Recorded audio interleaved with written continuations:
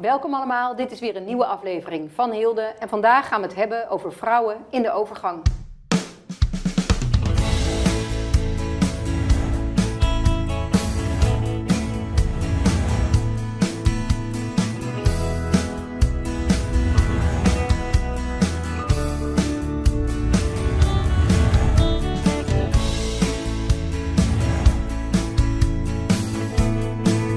Met Hilde Jans.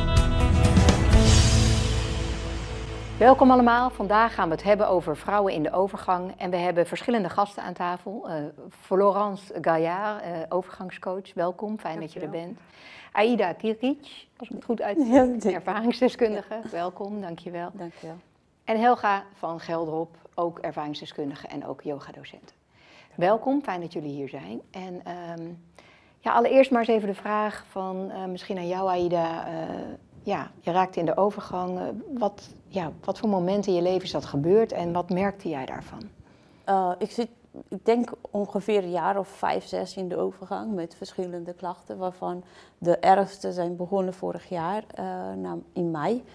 Dat ik heel erg veel opvliegers had, heel erg paniekaanvallen, niet durven dingen doen, overal beren op de weg zien. Eh, zo is het bij mij begonnen. Ja, en, en op welk moment ging jij het linken aan het feit, hé, hey, kan dit aan de overgang liggen of ben ik gewoon, gaat het gewoon niet goed met mij? Eh, dat, dat heb ik heel snel eh, gelinkt aan de overgang, omdat ik, ik ben twee keer met ambulance afgevoerd naar de ziekenhuis, omdat ik zo in paniek was en zo aan het dacht dat ik hartinfarct zou krijgen. Ja. En uiteindelijk bleek alles goed. Dus, ja. En de huisarts die dacht elke keer aan de burn-out of, eh, of verspannigheid, Ja. psychische klachten. Ja, maar door die opvliegers dacht ik elke keer, ja, dat kan niet alleen maar burn-out zijn en alleen, alleen maar psychisch. Nee. Dus zodoende ben ik eh, verder hulp gaan zoeken. Ja, verder hulp gaan zoeken. Ja. daar komen we zo op terug. Want Helga, eh, jij bent zelf ook ervaringsdeskundige. Ja. Eh, heb jij veel klachten gehad ook van de overgang? Ehm, ja, nou, ik heb vooral met terugwerkende kracht ehm, zie ik dat ik eh, tien jaar geleden, ik ben inmiddels begin 50, ik was toen begin 40, en ik kreeg hele hevige menstruaties. Ik zat ook wel in een periode van meer stress, dus ik dacht eerst, nou, daar ligt het aan.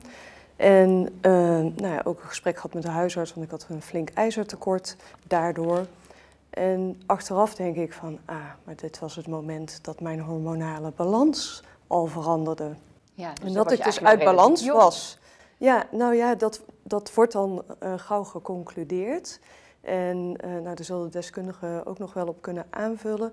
Maar ik weet inmiddels dat zo gemiddeld, eh, ja, en het is altijd gevaarlijk om getallen te noemen, dat gemiddeld begin 40 toch ergens wel wat verandert in die hormonale balans. En bij de een uitzicht dat anders dan bij de ander. Ja, Nou, bij mij dus zo. ja. En op dat moment heb ik dat niet beseft. Nee. Nee. En is het iets waar je, waar je het gevoel van hebt dat je daar nu nog steeds in zit? Of begint het nu al te veranderen voor je gevoel? Eh, nee, die fase die heb ik lang geleden achter me gelaten. Ehm, eh, dat, dat dat heel heftig was. Ehm, ik heb op een gegeven moment wel, eh, maar dat is veel later pas. ik ben inmiddels, ja, zoals dat heet, dan postmenopauze. Dus Mhm. na de overgang, of tenminste na de menopauze, dat je gestopt bent met menstrueren. En ik heb op een gegeven moment ook wel weer een periode gehad van opvliegers. Dat herken ik eh, van AIDA. Eh, alleen bij mij was dat heel duidelijk gelinkt aan een fase dat we aan het verhuizen waren. Enorm veel stress. Dus op momenten dat bij mij de stress erin komt, dan gebeurt er duidelijk ook iets met mijn hormonale balans. Ja, precies. Ja. Ja. Ja. Mooi. En, eh, en voor jou, Florence, want jij bent overgangscoach. Ehm, ben je dat gewoon ge- geworden of is dat ook naar aanleiding van je eigen overgangen geweest? Nee, dat is zeker ook naar aanleiding van mijn eigen overgang geweest. Ik was begin 40 en ik kreeg vooral eerst de psychische, mentale, emotionele klachten. Ik was al gewoon regelmatig ongesteld, geen opvliegers. Ik ken ook niemand in mijn omgeving die overgangsklachten had. Dus ik dacht helemaal niet aan de overgang begin 40. Ik dacht, ja, ik krijg een burn-out of ik word gek of wat, wat Mm. gebeurt er? Ja. En pas jaren later kreeg ik opvliegers en toen ging ik heel veel lezen over de overgang. En toen dacht ik, oh, maar ook dat waren al overgangsklachten. Ja, ja. ja, er is gewoon ontzettend weinig eigenlijk over bekend hè, bij het Heel algemene publiek en ook bij vrouwen zelf. Ja. En eh, terwijl er toch eigenlijk altijd eh 1,6 miljoen vrouwen ongeveer in de overgang zitten. Ja, de helft van Nederland komt of is in de overgang. Ja. Of is dat net geweest. Ja, of komt daarin, ja, precies. Want Aida, jij gaf aan van ja, het begon met deze klachten. Ehm, hoe heeft zich dat verder geuit bij jou? Uh, dat, dat kon ik niet meer werken, dus ik kwam in de ziektewet. Ik durfde echt niet naar buiten. Dat, ik was zo bang om naar buiten te gaan of iets te gaan ondernemen. Van, ik, ik herkende mezelf niet meer. Nee. Ik was altijd een, diegene die ondernemer was en, en mee uh, met vriendinnen op stap en uh, alle leuke dingen doen. Maar op een gegeven moment durfde ik echt niet eens een rondje om mijn huis te lopen. Dus uh, ben ik gaan hulp zoeken inderdaad. Ik ben begonnen bij, met acupunctuur, met pilletjes in de supermarkt kopen of in de drogisterij kopen. Dat soort dingen. Maar ik had het gevoel, het hielp wel, maar na een tijdje, na een week of twee niet. Toen ben ik naar de huisarts gegaan van, nou, zou dat niet de overgang zijn? Nou, het eerste wat hij zei, nee. En daar was geen sprake, ik kon niet eens meer over praten. En wat maakte dat hij aangaf, ja, dat, dat heeft niks met... Ja, omdat hij steeds aangeeft dat is uh, psychisch. Ja, dat ja. heb je al een keer gehad, de psychische klachten jaren geleden. Ja, dat kan ook toen geweest zijn. Ja. Na de geboorte van mijn, van mijn tweede kind was ik ook een beetje dit soort dingen Ja. ga- ge- heb ik ervaren. Dus, eh, Ja, dus dat zijn waarschijnlijk ook hormonale eh, veranderingen Inderdaad, geweest. toen eh, geweest na de bevalling. En toen was het een keer een eh, huisartsen vervangen, Mhm. een vrouw. Toen heb ik gezegd, nou, ik, ik kan gewoon niet meer, dit is gewoon niet leuk. En toen zei ze, nou, ik, zeg, ik heb gelezen over pleisters. Zou dat misschien iets zijn? Want ik heb geen baarmoeder, dus bij mij kon ik ook niet linken aan het ongesteldheid of Nee. eh, menstruatie. Dus ze zegt, nou, dan gaan we ermee proberen. Nou, eerst de pleister opplakken, volgende dag dacht ik, ik leef weer. Wat is, het was gewoon echt volgende dag al. Dat ik merkte dat die klachten wat minder werden. En wat waren dat voor pleisters? Eh, dat, is, dat zijn estradiolpleisters, die ik dan plak één keer in de, eh, twee keer in de week. Eh, En die geven hormonen die af. geven hormonen af. Ja. Ja. Ja. En dat is dan iets wat je dan blijft gebruiken eigenlijk? Dat zal ik blijven gebruiken. En ik, ik moet, eh, dat, dat is nu al derde maand dat ik het gebruik. Mhm. Dus ja, dat gaat best wel goed. Ja. Ik moet nog terugkomen voor controle en dan bespreken hoe we het verder gaan doen. Maar jij gaf aan, ik kon ook helemaal niet meer werken. Hoe werd daarop gereageerd bij jou in je werk?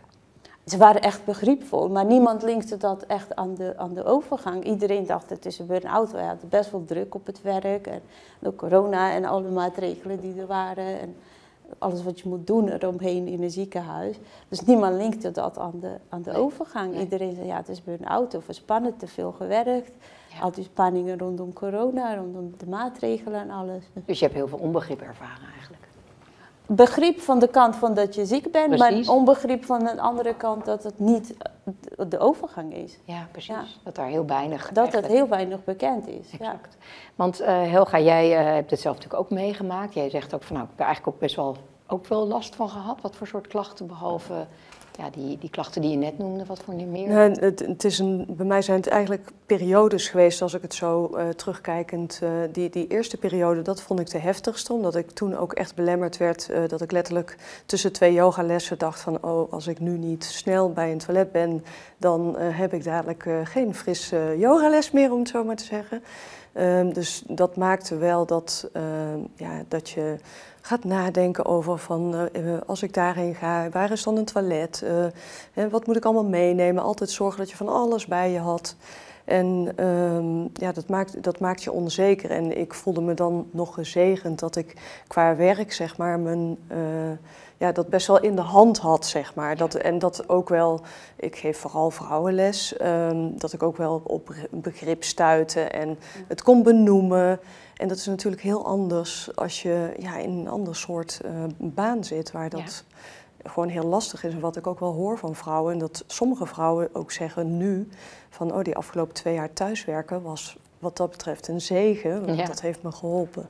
Ja. En ja, bij mij is dat dus op een gegeven moment is dat, eh, wel veranderd, dat menstruatiepatroon. Toen heb ik eigenlijk een aantal jaren toch wel minder gemerkt eh, van de overgang tot dan weer zo die aanloop naar eh, de daadwerkelijke menopauze toe. Dan begint het wat meer te rommelen, maar dan kan ik ook niet echt zeggen dat het vervelend was. Maar meer even daarna weer dat je dan, waar ja, ik zelf ook wel een beeld had van, nou, als je het eenmaal gehad hebt, die hobbel, Dan is het Eh, klaar. Dan is, dan is het toch klaar. Maar ik weet nu ook dat ja, juist dan bepaalde dingen beginnen, dat veel vrouwen dan juist opvliegers krijgen. En ehm, eh, ja, ook met gezondheidsrisico's, dat je ook wel alerter mag zijn, eh, goed voor jezelf moet zorgen daarin. Ja. Ehm, nou ja, en daarin, in die fase heb ik dus na de menopauze vooral die opvliegers opgemerkt en af en toe een, wat ik totaal niet van mezelf ken, een mega kort lontje. Echt Ja, ja. gewoon dat ik dacht van, hè, zei ik dit nou net? Dat, Ja, ja. precies. Ja. Ja. Ja. Want eh, Florence, jij bent eh, overgangscoach. Wat, wat, wat, wat moet ik me daarbij voorstellen? Wat, wat doe jij?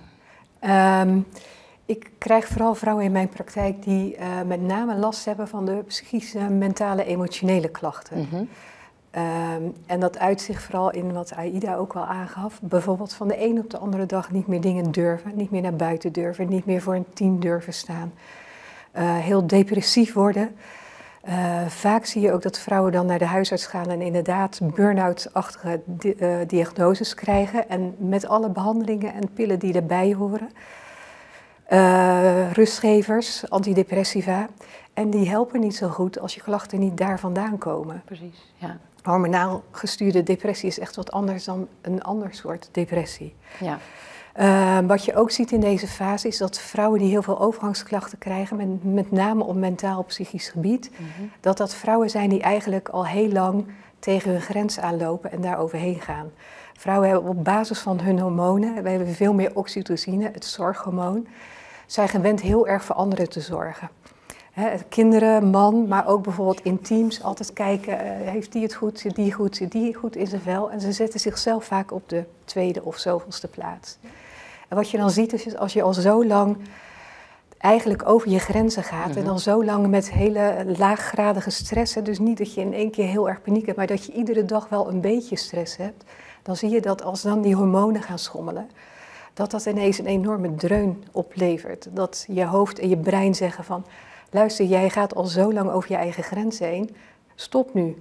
En dat stop nu, dat kan dan in zijn dat je ineens paniekaanvallen krijgt of ineens heel depressief wordt. Ja. Of dat je ineens helemaal terug wilt trekken jezelf. Hè. Zij gaf je ook, je hebt helemaal geen zin meer om dingen te gaan doen.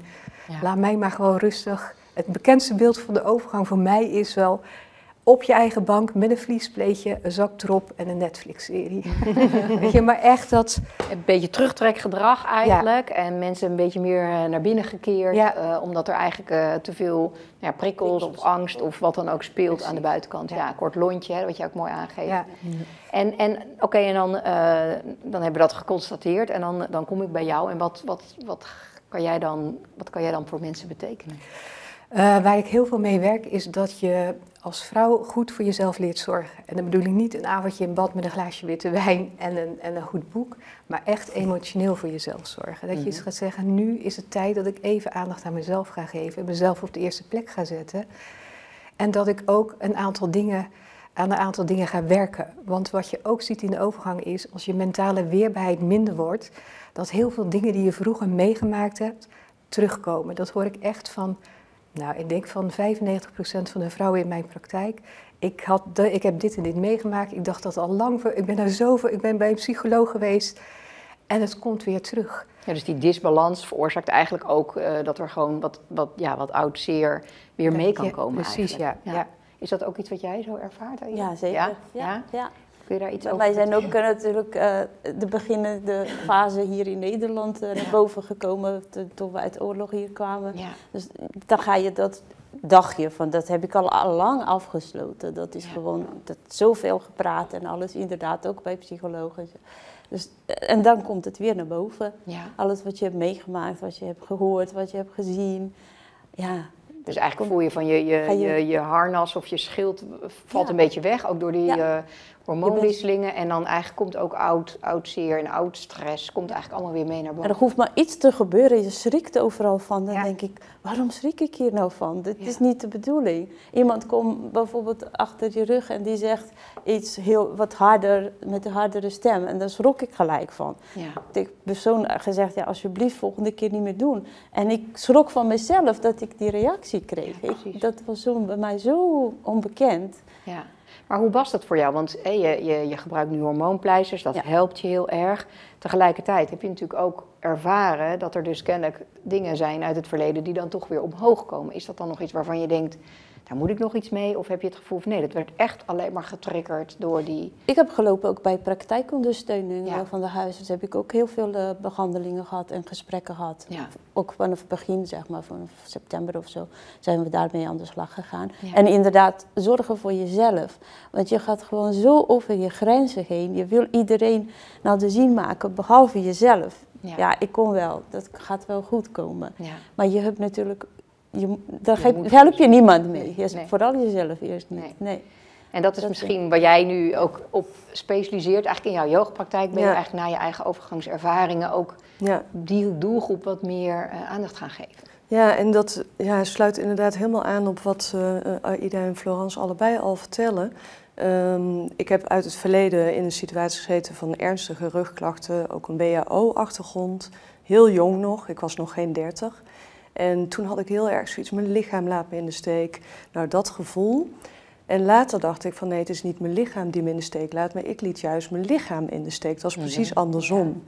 En uh, dat heb ik dus ook weer gevoeld in die periode van de overgang. Als ik, ja, ik zeg het altijd, als ik niet luister naar de fluisteringen van mijn lichaam, dan gaat hij schreeuwen. Ja. En dan, komt het, ja, dan komen er dingen boven.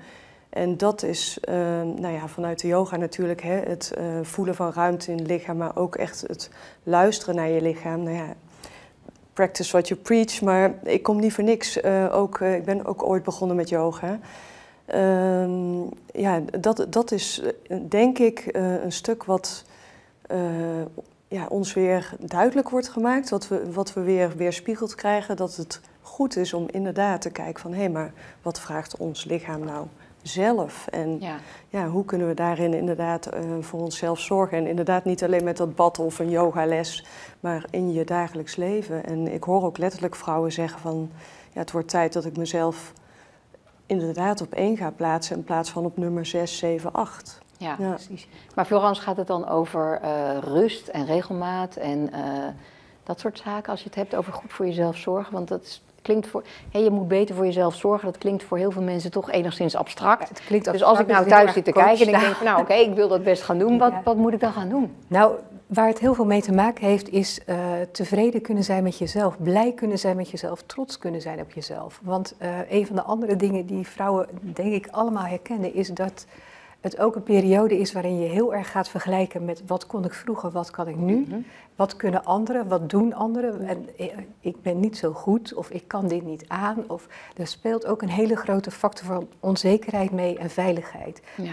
En als je daarna gaat kijken en daaraan werkt, en dat kun je met allerlei oefeningen doen, bijvoorbeeld met visualisaties, uh, met mantra's die je voor jezelf instelt, dan kun je heel veel bereiken. Want als jij alsmaar tegen jezelf zegt van ja, ik ben niet zo goed, dan moet je nou kijken. En zij kan het wel. En maar heeft dat niet ook enigszins te maken met hoe wij er in onze maatschappij mee omgaan? Hè? Dit, dat hele overgangsverhaal is ook een beetje, ja, ik, ik, wil niet generaliseren, maar mannen kunnen daar soms wat lacherig over doen. Uh, jonge vrouwen hebben zoiets van, nou, dat is voor, alleen voor oude vrouwen, dus dat is ver van mijn bed, daar heb ik niks mee te maken.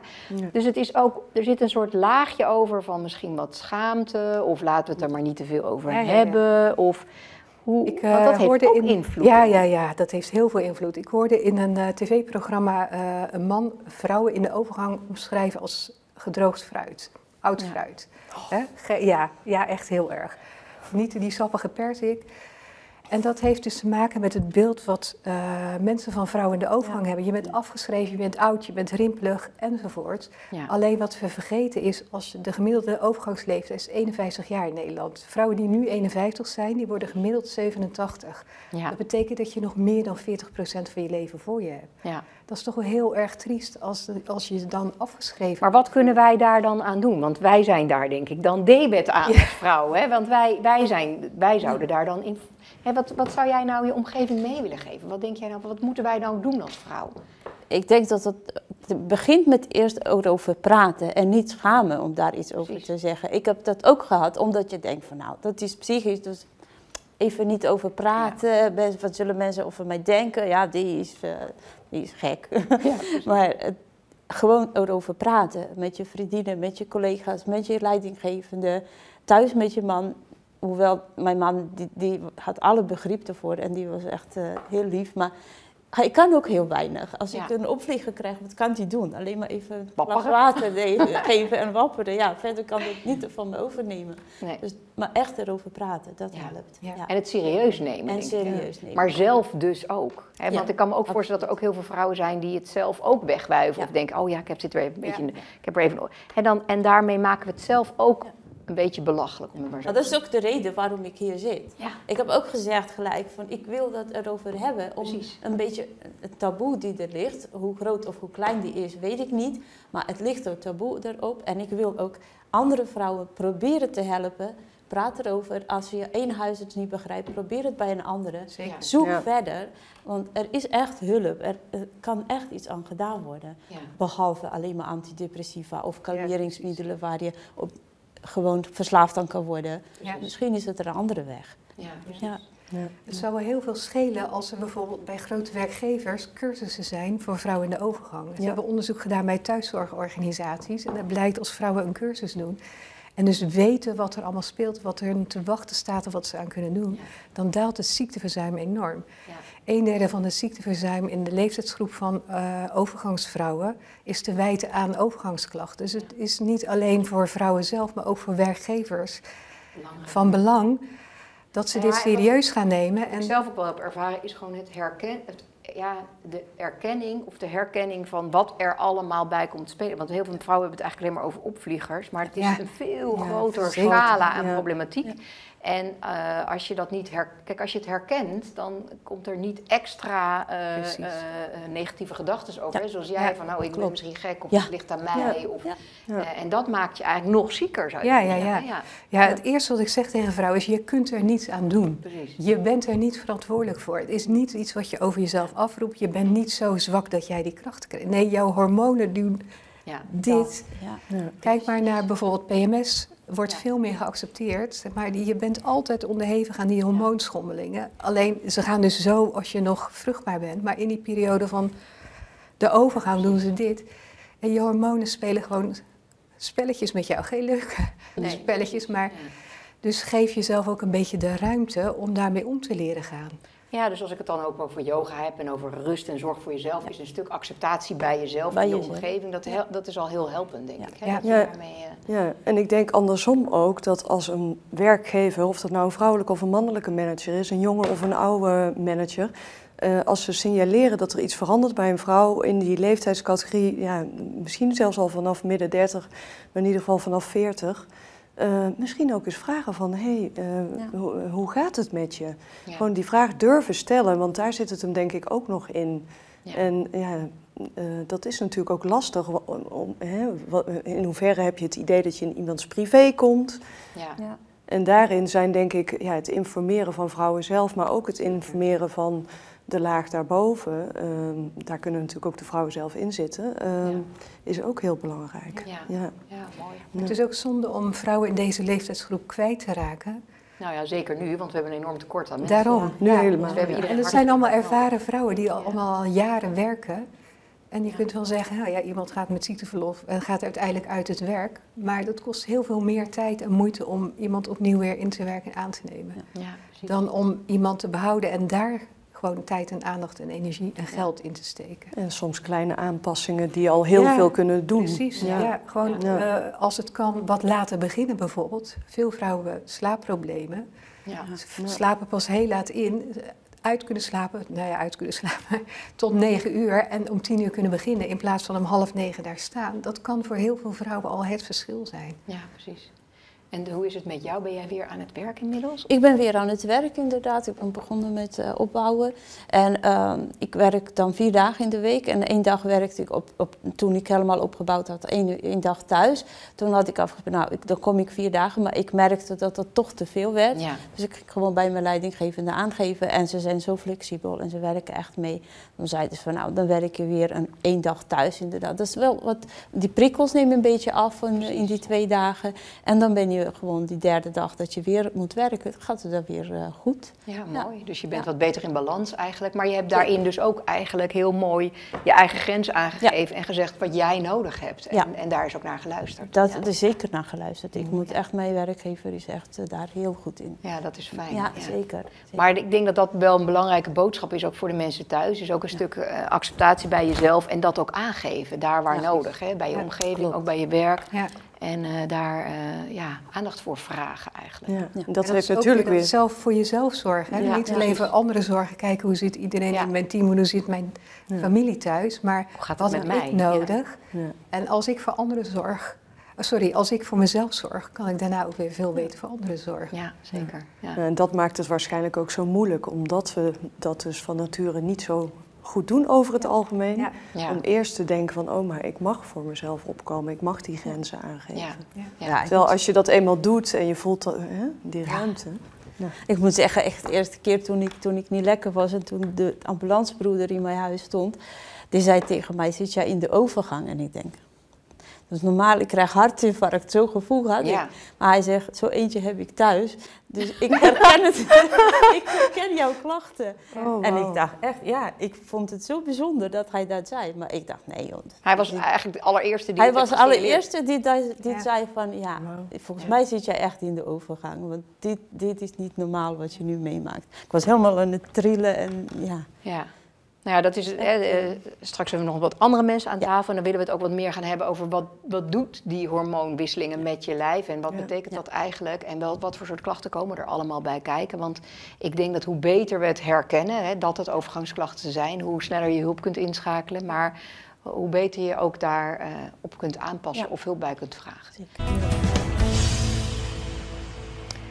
Inmiddels zijn bij mij aangeschoven Fleur Bergwerf, welkom, fijn, gynaecoloog bij de Bergman Kliniek.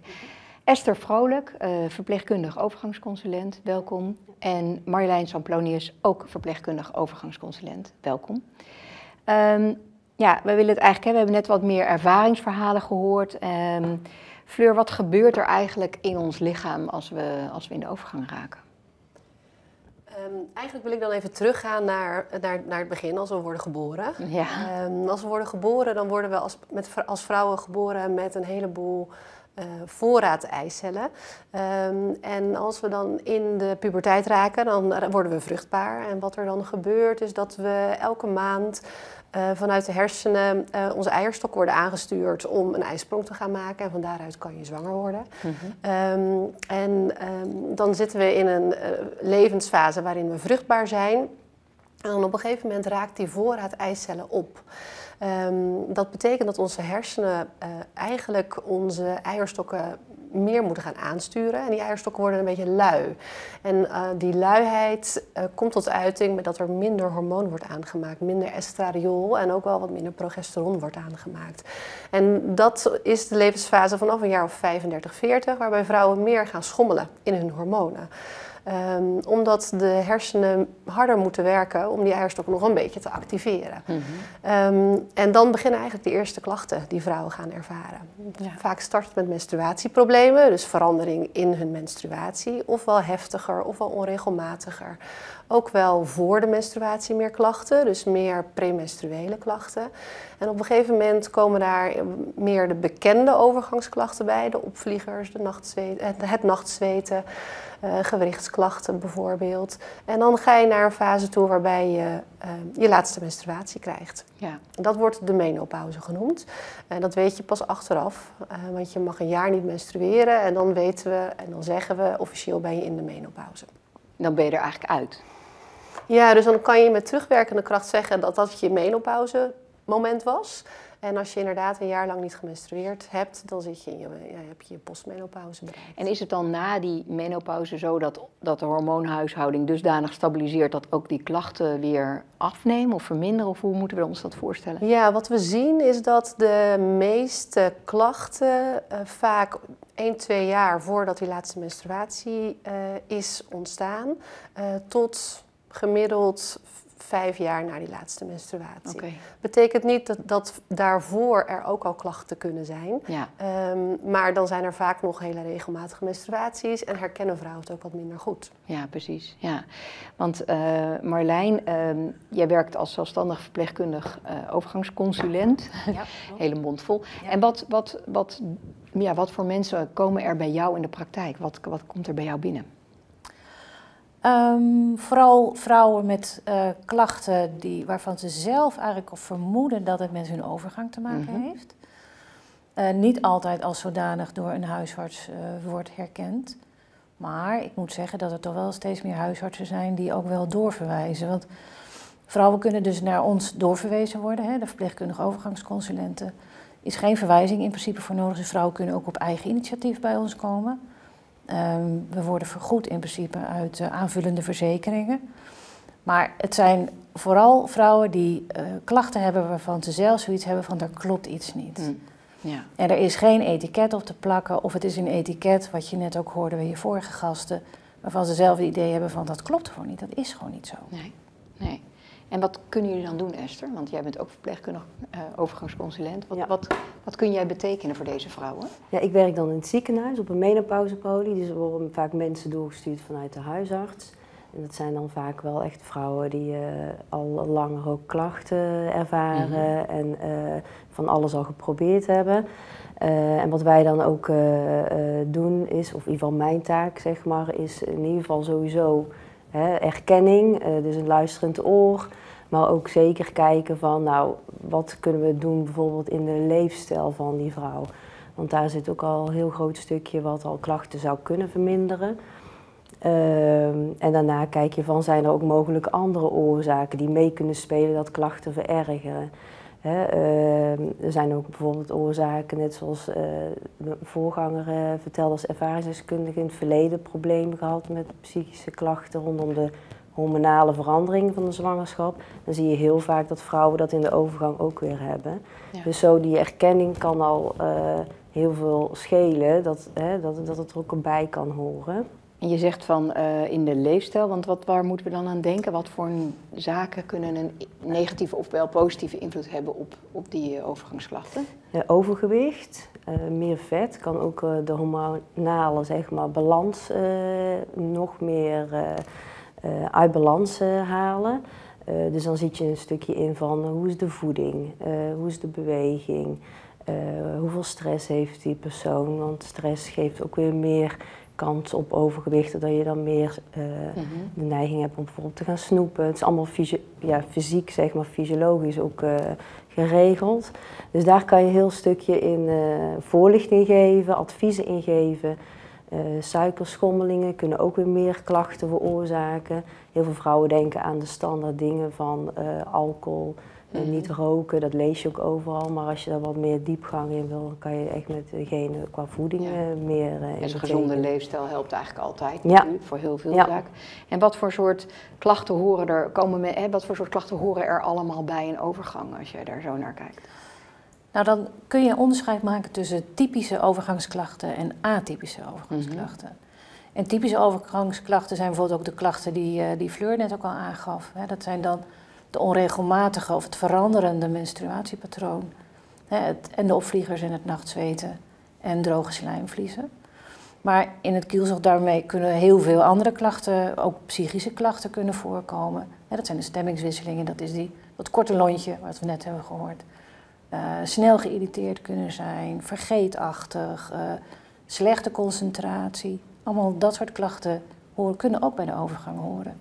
En Fleur, hoe kan dat dan dat de een daar zoveel meer last van heeft dan de ander? Ja, dat weten we niet. Nee, Nee. wisten we dat maar. Eh, we weten inderdaad dat er een groep vrouwen is die ook al in andere eh, levensfases er meer last van heeft. Dus het is bekend inderdaad dat als het rondom de zwangerschap, als er al een dep- depressie geweest is of eh, klachten premenstrueel, ehm, dat die groep vrouwen ook meer last hebben van de overgangsperiode.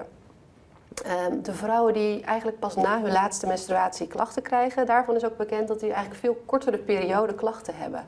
Ehm, en vaak ook minder die atypische klachten hebben ten opzichte van de vrouwen die in andere levensfasen ook al nou ja, met hun hormonen eh, problemen hebben gehad.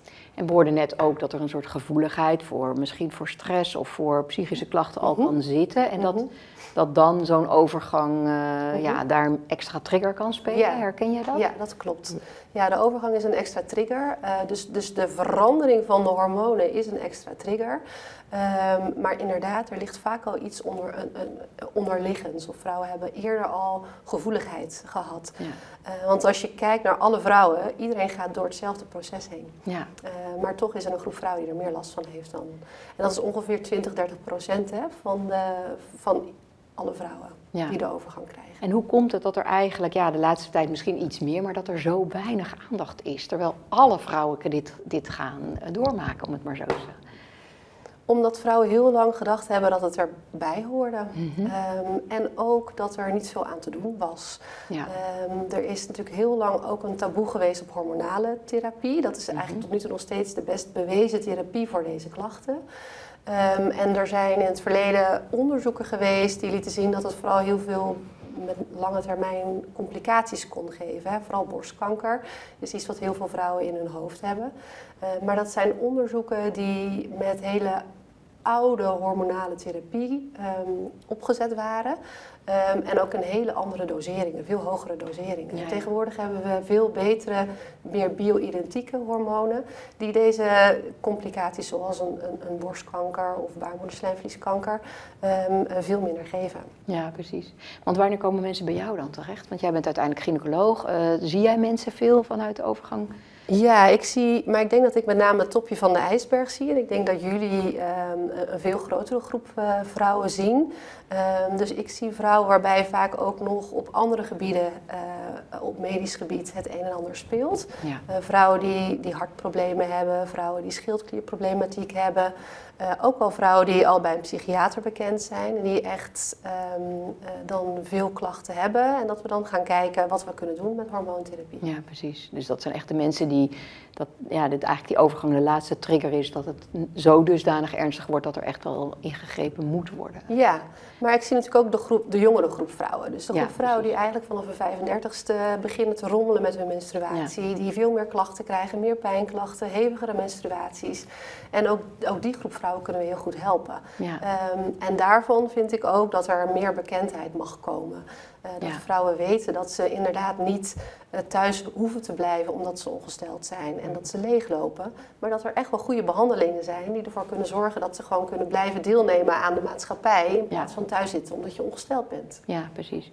Want ik kan me ook voorstellen, Marjolein, dat eh, ja, er zijn ook jonge vrouwen, hele jonge vrouwen die in de overgang raken. De, de vroege overgang, dat heeft ook, tenminste wat ik in mijn omgeving dan ervaar, is dat dat ook een stuk rouwverwerking of zo dan eh, met zich meebrengt. Herken jij dat? Ja, dat, dat klopt. Want eh, je komt dan in een, in een levensfase terecht waar je vriendinnen of je collega's of je zussen eh, absoluut nog niet aan toe zijn. Ja. Hè, dus dus dat, dat is gewoon een heel groot verschil. Ja. Maar het is wel zo dat deze vrouwen, die worden echt door ons gelijk ook wel doorgestuurd naar de gynaecologen. ja. Want Juist zoals Fleur ook net zegt, van, daar, daar moet echt mee overlegd worden. En daar is inderdaad eh, hormoontherapie echt voor aangewezen. Ja. Ja, en dat echt, ja. als ik het mag aanvullen, Ja. dat heeft te maken met dat als je te vroeg in de overgang komt, naast het feit dat je dan eigenlijk ook geen kinderen meer kunt krijgen, Mhm. en daar zit ook een, een, een groot gedeelte van het rouwproces. Ehm, want we kunnen de overgang niet terug, het is niet reversibel. Als eenmaal dat eh, het proces in gang gezet is, uh, we kunnen geen eitjes meer terughalen. Nee. Um, dus dat is, dat is een, een, een, een groot deel en een, een rouwproces. Maar deze vrouwen die vervroegd in de overgang komen, die hebben ook een verhoogd risico op hart- en vaatproblematiek en op osteoporose. Ja. Dus het is heel belangrijk dat zij juist aan de hormoontherapie gaan Ja. om, en, hun, en hun leefstijl aanpassen en nog een aantal Mhm. andere zaken. Maar om ervoor te zorgen dat ze op latere leeftijd um, geen hart- en vaatproblemen krijgen en ook geen uh, osteoporose Ja. hebben. Ja. Ze lopen eigenlijk tien jaar voor hè, Zo loopt op het ja. hele proces. Ja. En dat is het. eh, ja. Nou, en ik kan me ook voorstellen, Esther, dat er gewoon, hè, wat we net ook hoorden, dat er, wat ik ook merk, ervaar in mijn omgeving, is dat er gewoon best wel veel mensen lang doorlopen met klachten en die Mhm. eigenlijk helemaal niet relateren aan. Hè, dus de opvliegers en het nachtzweten, dat is algemeen bekend. Ja. Maar wat je merkt is dat er best wel veel vrouwen zijn die die klachten bijna niet of nauwelijks hebben, maar eigenlijk hele andere klachten. En dat er heel weinig bekendheid is over het enorme arsenaal aan klachten wat zich, eh, ja, wat onder die, passen. onder, ja, Ja. precies, overgangsklachten zou kunnen Ja. vallen. Klopt. Herken jij dat? Ja, dat, dat herken ik zeker. Eh, en met name dan de, de, de stemmingswisselingen, gewrichtsklachten. Hè? En er zijn ook dingen die natuurlijk eh, ehm, zouden kunnen komen ook door iets anders. Hè? Ik bedoel, iemand kan ook een burn-out eh, bijvoorbeeld hebben. Eh, alleen is het belangrijk dat in, hè, wat betreft leeftijd kan meespelen, maar iemand kan dus ook vroeger eh, in de overgang raken, dat dat niet vergeten wordt, dat stukje. En dat het ook eerder herkend wordt. Want heel veel vrouwen zijn al wel bij de huisarts geweest, eh, maar wordt het inderdaad niet zodanig eh, herkend. Ja. Ehm, ik moet zeggen dat het wel steeds beter wordt. Ook van huisartsen krijgen ook daar steeds meer kennis over eh, en sturen ook wel sneller door. Ja. Er zijn nog steeds echt wel vrouwen die zeggen van ik heb, heel, ik heb echt jaren moeten zeuren om naar deze poli eh, te komen. Ja. Dus eh, Ja. dat is dan wel eh, ook voor onze taak zeg maar, om daar meer informatie over te Maar geven. hoe kunnen we dan meer bekendheid geven aan, aan hè? Ik, ik weet niet of jullie daar ideeën over Ja. hebben, maar hoe kunnen we meer bekendheid geven aan het feit dat de overgang er is? Nou ja, dat weet iedereen denk ik, maar wat het met zich mee kan brengen allemaal. En toch meer eh, ook workshops en presentaties voor werkgevers. Vanuit het ziekenhuis zijn we daar nu ook echt wel mee bezig. Maar ook naar huisartsen eh, in de omgeving. Dus dat is ook vanuit ons, vanuit ons als verpleegkundige overgangsconsulenten, zeker Ja. ook. eh, Precies, want Ja. eh, bij on, wij, zijn, wij hebben dan de VVOC, dat is onze beroepsvereniging, de enigste erkende professionele beroepsvereniging. Ehm, en die verzorgt ook eh, presentaties ehm, aan alle handen groepen, ook eh, bij bedrijven. Collega's van ons, waaronder ik zelf, doen dat ook eh, zelf als eigen professie. En voor de rest zijn er ook goede websites, zoals Vrouwen in de Overgang, ehm, waar Fleur en ik ook in de redactieraad zitten. Goede informatie, objectief, wetenschappelijk Maar onderbouwd. jullie en dat is ook dan heel workshops belangrijk. bij, bij werkgevers. En wat is dan precies het doel om daar te bereiken? Ehm, kennis over de overgang. En eh, ook om eh, aan te geven van wat dat betekent. En wat het betekent voor vrouwen op de werkvloer Mhm. of in het management. Want eh, de vrouwen zitten gelukkig in alle lagen van de organisaties. Maar het begrip kan er eh, toe bijdragen dat er gewoon. Dat mensen geneigd zijn ook om, om aanpassingen op het werk eh, te realiseren. Het zijn soms maar kleine aanpassingen. Hè. Als je bijvoorbeeld hebt over eh, de verwarming, een graadje lager scheelt tot 30% minder opvliegers bijvoorbeeld. Dat soort kleine dingetjes. En ook aan te geven dat het eh, eigenlijk heel laagdrempelig is op welke wijze je deze vrouwen tegemoet kunt komen. Ja, dus het En meer, en daarmee het ook meer serieus nemen en meer Mhm. geaccepteerd maken. Het serieus en precies. Het, want wat, ik vond het ook wel grappig wat ik net hoorde, dat er heel veel mannen zijn die heel goed weten waar het over gaat. Ja, Hè, en die er ervaring mee hebben met of hun vrouw, vriendin, of hun moeder, of hun zus. Of, precies. hè, en die eigenlijk heel goed weten eh, wat het kan betekenen. Ja. Dus ik denk dat het eigenlijk maar ook een hele kleine stap hoeft te zijn tot eh, meer begrip. Maar heeft het dan ook te maken met vrouwen zelf? Dat, dat Ja. vrouwen zelf eigenlijk eh, er ja, toch wat, ja, wat misschien te laconiek over doen, of het wegbuiven, of misschien schaamte, of wat, wat, wat speelt daar? eh? Ja, ook. Ook schaamte, denk ik zeker. En eh, het gewoon door willen gaan. Hè? Want Ja. ik wil gewoon mijn leven voortzetten dat het altijd was. Dus Ja. eh, nu moet ik dat ook kunnen. En ik denk ook wel een stukje... ehm, ehm, eigenlijk toch... Aan de ene kant weten we er wel wat van misschien, maar, maar toch ook weer heel veel niet. En ik denk dat dat... eh, al veel vroeger zou moeten kunnen. Als je kijkt naar school, de basisschool, de middelbare school, biologieles. Nou, je krijgt alle stappen van eh, hè, eh, kleuter, eh, Ja. puber, eh, eh, zwangerschap.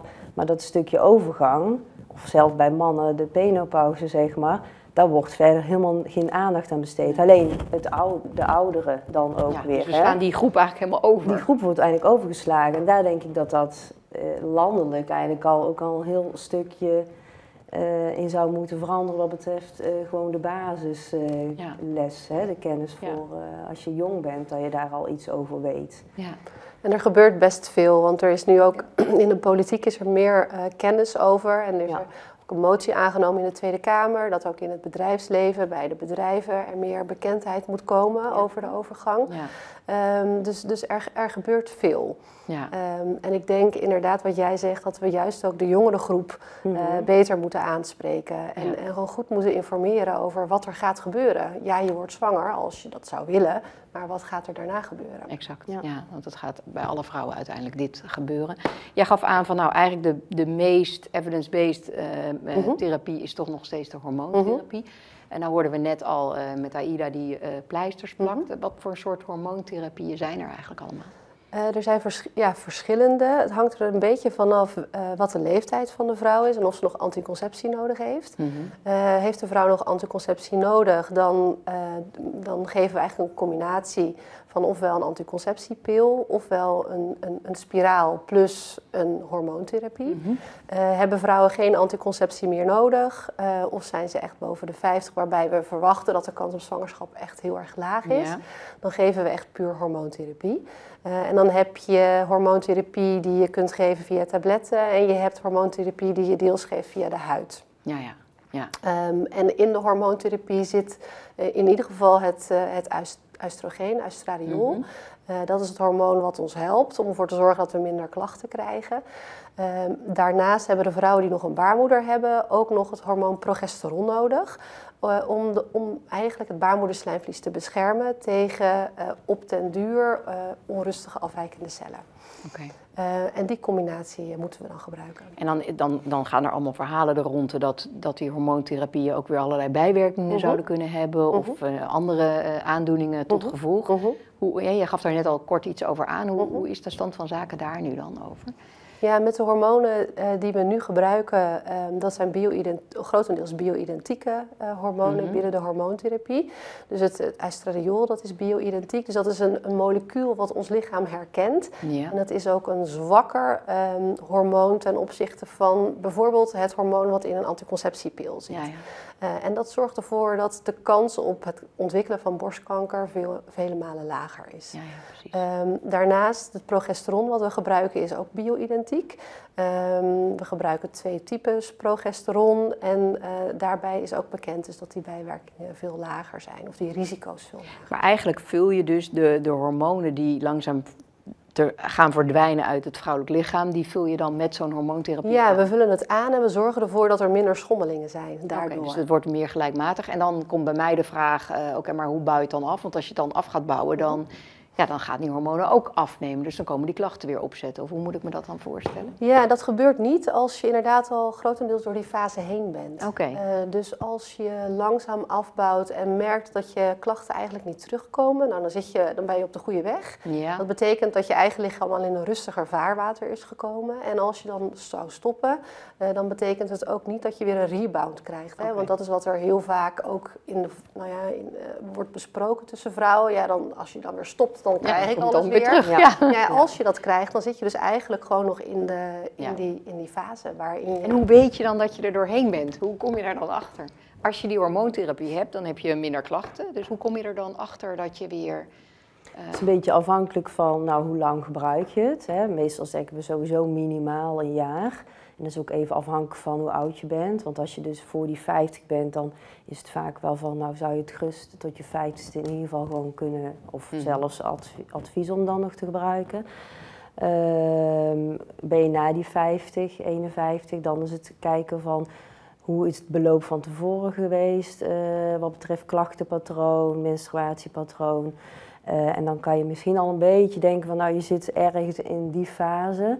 Dus hopelijk hè, dat je over een jaar of over twee jaar al eh, veel vermindering zou hebben zonder die hormonen wat betreft klachten. Dus dat je dan kan gaan zeggen van nou we kunnen eens kijken wat er gebeurt na 1, 2 jaar. Van als we rustig gaan eh, afbouwen, ga je Ja. dan eh, klachten ervaren. Maar is het dan, eh, ik hoor ook genoeg vrouwen die, die tot hun 55ste, 56ste, 57ste klachten houden. Mhm. Is dat herkenbaar? Ja. Ja, dat is herkenbaar. Want Ja. er is eh, ook circa 15% zeg maar, van ons vrouwen die helaas klachten blijven houden. Oké. En dan met name dan die opvliegers, hè, die, eh, die Mhm. blijven dan opspelen.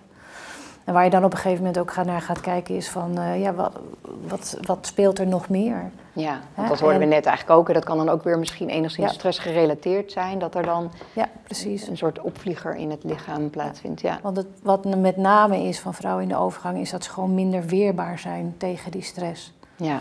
En je lichaam kent maar één stressreactie. En dan kan dus de input kan zijn emotioneel, maar kan voeding zijn, kan Ja. sociaal gerelateerd zijn, dat kan van alles zijn. Ja. Dus wat je, wat je dan probeert eh, te adviseren is vaak ook wel eh, eh, cognitieve gedragstherapie bijvoorbeeld. Ja. Hè? Dus om op een bepaalde manier om te gaan Anders met je klachten, op te anticiperen en te leren van ja, wat je dan voor jezelf kunt doen. Ja, precies. Ja. En als ik nou thuis naar dit programma zit te kijken en ik denk, hmm, misschien heb ik wel wat, wat overgangsklachten, wat, wat kan ik nou het beste doen? Wat is nou jullie tip? Als ik die tip mag geven, is van dan kun je kijken op de site van de VVOC. En daar kun je zien welke eh verpleegkundige overgangsconsulent eh, bij jou in de buurt zit. Ja, Want het is ehm, best ook een aanrader om gewoon, ook gewoon om informatief hè, naar een overgangsconsulent te gaan. Want als je weet eh, wat er gebeurt in je lijf, als je weet waardoor je klachten veroorzaakt kunnen worden, dan kijk je er ook al heel anders tegenaan. Dan kun je er op een hele andere manier mee omgaan. ja dus eigenlijk al door te, te herkennen van, oh, Ja. dit is eigenlijk gewoon een ja, Dat is wel alle- vervelende klacht, maar deze klacht hoort bij de fase Ja. van mijn leven. Klopt. Dan is er al meer acceptatie en meer ook persoonlijk Ja. begrip waarschijnlijk. Ja, Ik hoor heel vaak van toch blij dat ik hier geweest ben, want nu snap ik het. ja precies. Hè? En één ding wat ook heel belangrijk is en wat al genoemd is eh, nu net, is die preventie. Preventief moeten we proberen om ook gewoon heel veel jonge vrouwen te bereiken. Ja, Want het is zo ongelooflijk jammer dat je tien jaar na dato er eigenlijk pas achter komt van, oh, dat was Dat de was overgang. ja precies. En er zijn inderdaad heel veel dingen te doen. Ja.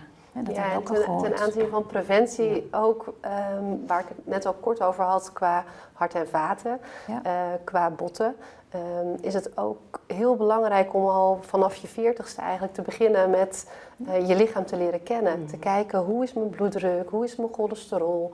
Ehm, eh, laat dat gewoon een keertje onderzoeken en, en, en kijk of je al aanpassingen kunt gaan doen.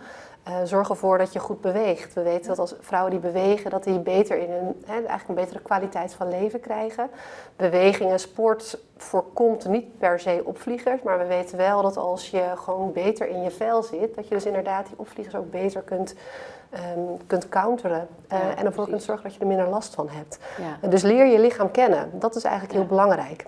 En het kan ook eventueel klachten verergeren, hè? net zoals een hoge bloeddruk waar je geen weet van hebt. Ja. Dat is ook eh, waar wij zelf ook altijd naar kijken. Of eh, sommigen ontwikkelen eh, verhoogde suiker, hè, diabetes. Of Ja. sommigen hebben toch schildklierproblematieken die ook die overgangsklachten Mhm. soms hè, mede verergeren. Dus Ja. dat is ook iets... Ja, en ik hoor ook dat, eh, dat, dat, er, eh, dat er ook allerlei veranderingen plaatsvinden. Dat je bijvoorbeeld minder goed tegen alcohol kan. Of dat Ja. bepaalde voedingsmiddelen niet meer goed vallen of zo. Herken jij Ja. dat? Eh, We weten wel dat in de overgang, of dat nou per se te maken heeft met de hormonen die veranderen, of gewoon omdat we als, als lijf, als vrouw ouder worden, dat ook het immuunsysteem wat verandert. Dus het is inderdaad ook wel bekend dat er meer schildklierproblematiek ontstaat, er ook meer allergieën kunnen gaan ontstaan. Ehm, dus dat hoeft niet per se met ons vrouwelijk hormoon te maken te hebben, Precies. maar dat heeft ook gewoon met verouderen te maken. Ja, ja. Ehm, eh, en wat betreft alcohol, ja, dat heeft waarschijnlijk een invloed op ons, op de triggering van ons temperatuursysteem. Eh, waardoor je dus ook sneller opvliegers krijgt. ja, precies. Ja. Ja, en onze spiermassa neemt af. Ja. Dus Ja. wat dat betreft, eh, dat is ook eh, een van de onderliggende oorzaken misschien. En daarom is het ook zo belangrijk hè, dat je ook eh, in beweging blijft Ja. en zo nu en dan die krachttraining doet. Ook om je stofwisseling een beetje op peil te houden. Want juist ook als je eh postmenopausaal bent, gaat je stofwisseling wat naar beneden. Dus kom je ook wat meer aan als je hetzelfde blijft eten. Het heeft Ja. allemaal met Ja. elkaar te maken. Ja. En we slapen slechter, waardoor En we slapen daardoor slechter, waardoor... produceren. Precies, dus Het is één groot drama. Nou, weet je, één groot Het drama. heeft eh, het allemaal met elkaar te maken. Het heeft allemaal met hè? elkaar te maken. Het een en- heeft invloed op het ander. ja, Ja. en gezond oud worden staat centraal voor Ja, ons. precies. Ja, en wat ik daar ook wel in Ja. wil benadrukken is dat het ook een, eh, iets positiefs Ja. is. Zeker. Ehm, en dat willen wij eigenlijk ook Ja. eh, op die website. Want uh, vrouwindeovergang.nl is een website eh, door eh, eh, medici, seksuoloog, de overgangsconsulenten die we hebben opgezet. Omdat we een platform willen geven om eh, betrouwbare informatie aan vrouwen te kunnen geven. En wat we daar ook wel echt in willen benadrukken is dat het inderdaad iets positiefs is. Vrouwen die gaan andere keuzes maken. Ja. Die gaan ehm, een beslissing nemen die ze al, waar ze eigenlijk al tien jaar lang een beetje mee bezig zijn. En dan denken, nee, ik ga nu voor mezelf kiezen. Ik ga een andere baan nemen. Ik ga scheiden van mijn man. Ehm, eh, Positief. ja. Maar wat je eigenlijk Kan, zegt, eh, eh, ja. Fleur, is een beetje wat Florence net aangaf van eh, hè, die zelfzorg is vaak bij vrouwen wat Mhm. ondergeschikt Ja. gebleven. En eigenlijk Ja. door die overgang eh, worden we ons meer bewust van ons eigen lijf en wat we nodig hebben. En gaan we ook misschien keuzes maken die beter bij ons passen. precies. En die ook Ja. beter voor ons zijn eigenlijk. Ja, zeker. En het mooie is dat dat ook hormonaal gestuurd is. Ja. En dat is het inderdaad het positieve wat je eruit kunt halen Ja. als je dat wil. Ja, Fleur, wat jij vertelt over hormonen, hè, wat mij opvalt in eh, voorbereiding op, op dit onderwerp, met vriendinnen ook, eh, eh, dat ze merken dat huisartsen ook wel eens het spiraaltje voorschrijven Mhm. om met mogelijke overgangsklachten om te gaan. Hoe sta Mhm. jij daarin? Ehm, dat hangt er een beetje vanaf wat voor klachten ze hebben. Dus als zij hormoon, hormoonklachten hebben, meer de opvliegers of het nachtzweten, dan zal dat niet zo heel veel invloed hebben. Eh, als zij meer menstruatieklachten hebben, uiteraard, dan gaat dat eh, al een verbetering geven van hun klachten. Maar puur alleen eh, een, een, een Mirena-spiraal, hè, dus een hormoonhoudend spiraal voor eh, opvliegers, zal weinig effect hebben. ja, dus dan zou je weer die aanvullende Dan zou je aanvullend hormoontherapie moeten... Precies, ja. een pleister of een gel Ja. of een spray moeten gebruiken. ja, precies. Ja. Ja. Ja, ik was eh, benieuwd. Het, het- nou, het is lang gegaan over de klachten en waar we allemaal last van hebben. En ehm, nou ja, welke positieve eh, aspecten zijn er eigenlijk aan de overgang. Eh, op een gegeven moment, eh, zoals al Fleur ook heeft verteld, komt er gewoon rust in. Je, je lijf gaat toch een nieuwe balans vinden. Dus de, de klachten doven zeg maar uit, dat mag je verwachten. En dan krijg je gewoon ook rust gewoon in je brein. Je krijgt meer ruimte voor dingen, meer ruimte voor beslissingen. Ehm, je, zor- je kiest meer voor jezelf. Ehm, dat zul je gaan merken. Nou, de overgang, dat is dus echt een transitieperiode. Hè? Van de periode van vruchtbare vrouw, waarin je vooral zorgt voor anderen, naar de periode van onvruchtbare vrouw. En is die rouwperiode eenmaal voorbij, dan krijg je ook veel meer ruimte om zeker van jezelf te zijn. Want er zijn veel minder mensen van jou bijvoorbeeld afhankelijk als je geen kinderen meer op hoeft te voeden. Dus je kunt veel meer keuzes voor jezelf maken. En je hoeft je ook veel minder aan te trekken van wat anderen van je vinden. En je ziet dat dat een hele sterke pro is, zeg maar, van de overgang. Je wordt gewoon echt sterker als vrouw en je neemt andere beslissingen. En je zit beter in je vel, je trekt je minder van mensen aan. En dat is een heel fijn gevoel. Ontzettend bedankt dat jullie eh, vandaag Graag hier eh, aan tafel wilden u wel voor de uitnodiging. Dit eh, Ja, met ons wilden bespreken. Heeft u thuis last van overgangsklachten? Ga dan zeker even op de website kijken en schroom niet om hulp te vragen, want er is echt wel iets mogelijk. En eh, nou, ik wil jullie in ieder geval allemaal heel erg bedanken voor het kijken. Dit was weer een aflevering van Hilde.